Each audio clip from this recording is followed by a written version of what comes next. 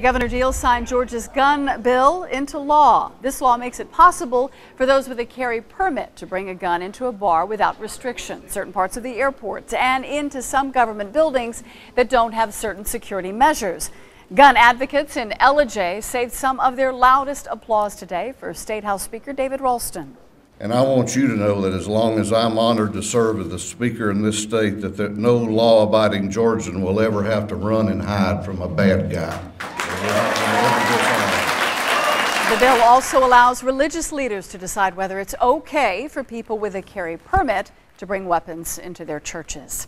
Governor Deal may have been applauded by supporters of House Bill 60, but he was widely criticized for signing the bill by gun control advocates. CBS 46's Bernard Watson spoke to Reverend Raphael Warnock, the spiritual leader of historic Ebenezer Baptist Church. And Bernard, he has been an outspoken critic of this law, hasn't he?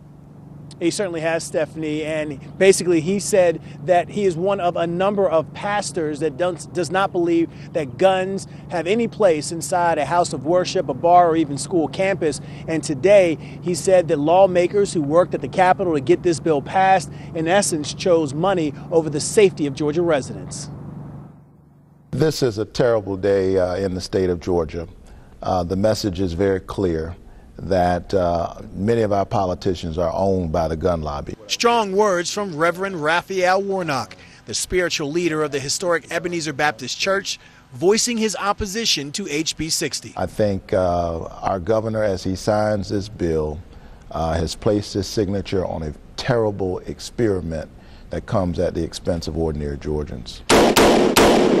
HB 60 is a wide ranging law that reduces the penalty of several existing gun laws and gives gun owners more freedom to carry their weapons where they want, including inside bars and certain sections of Hartsfield Jackson International Airport. It also allows people with a Georgia firearm license to take their weapons inside churches as long as the church's policy allows it. It's a public safety issue. Uh, just because someone has a permit doesn't mean that they're always responsible. Churches are private property the government should not be able to say whether I can carry a firearm in there or whether I'm not. Jerry Henry is the executive director of GeorgiaCarry.org. He says the law doesn't go far enough. Normally, anytime there is an expansion of laws that allow you more freedom to carry your firearms in other places, it does lower the crime rate. Reverend Warnock disagrees. This notion of building a society where every man, every woman for himself, everybody's armed, the notion that that will somehow solve the problem is, is, is false. And Reverend Warnock, as well as other gun control advocates, say they are concerned that this bill is so sweeping, this new law, I should say, is so sweeping and affects so many things that it will have a lot of unintended consequences that will affect not only residents, but also local governments and law enforcement.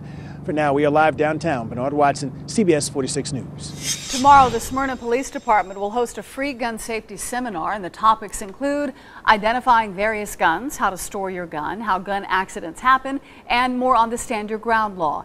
The seminar is from 7 to 9 at Smyrna City Hall. It will be limited to 100 people.